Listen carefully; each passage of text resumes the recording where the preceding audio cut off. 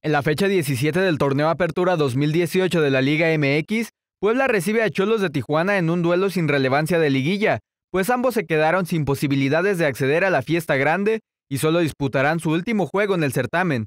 Antes de la actividad por la fecha FIFA, el equipo poblano vio esfumadas sus posibilidades de liguilla desde la jornada pasada, cuando fue goleado 6 a 1 por Tigres en San Nicolás de los Garza, mientras que la escuadra fronteriza perdió tres goles a dos en casa frente a Monarcas Morelia.